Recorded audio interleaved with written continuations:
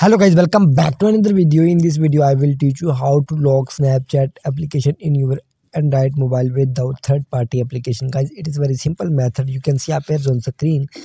I open snapchat application. You can see my snapchat application is open. Now go back here. Uh, simply for locking your snapchat simply open your mobile setting. Here you can see appears on screen. This is the interface. And guys uh, inter security and uh, scroll down. You can see appears on screen app lock option. If you not available in your mobile you can search app lock in your mobile setting.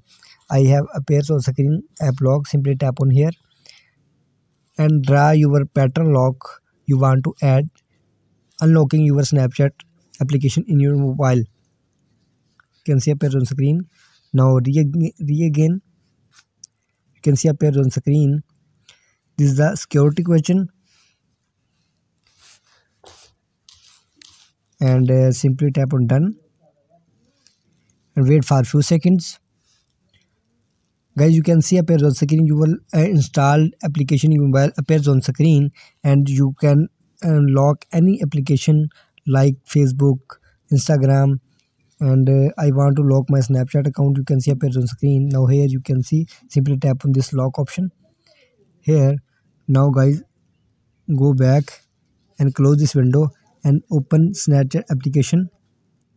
You can see a bears on screen and uh, i want to you can see a bears on screen.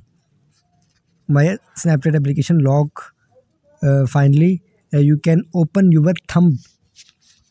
You can see a page on screen. You can open your with thumb or uh, your pattern lock. Please like my video subscribe to my channel for the latest more updates